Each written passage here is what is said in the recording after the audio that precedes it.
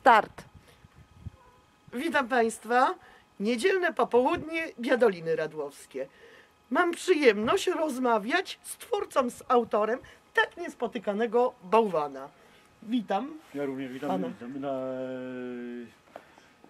no, jestem Janek y, Kozaczka. Co Pana Zimu- skłoniło? to mi skłoniło. Zimowy okres, właściwie okres bez y, pracy, czas od- odpoczynku, relaksu po, po lecie, po jesieni i tak dalej. Przede wszystkim y, brak zajęcia i y, frajda dla wnuków, dla wnuczek przede wszystkim. A mówił Pan, że jeszcze Pan chce go zmodernizować. Oczywiście brakło mi czasu, już przyszły mrozy i chcę jeszcze się brakło mu y, rany, rąk i no, głowa o tyle o ile. Przede wszystkim chcę, przede wszystkim no, tego trochę bardziej u, uczłowieczyć. Rozumiem. Śliczna rzecz, bardzo niespotykana. Pewnie Pan tu ma wycieczki ludzi, którzy oglądają Gro osób bałwana giganta. Osób przejeżdżających z samochodami czy tak przechodzących na niego spogląda.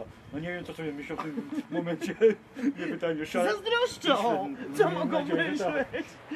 Ja mam prośbę, jak on będzie zmodyfikowany, proszę dać nam zdać, my na pewno przyjedziemy zobaczyć. Oczywiście, tak. Trzeba Dziękuję, tylko na trochę ocie- na ocieplenie i na plusową temperaturę przynajmniej w dzień. dziękuję panu Również serdecznie. dziękuję. Bardzo było miło.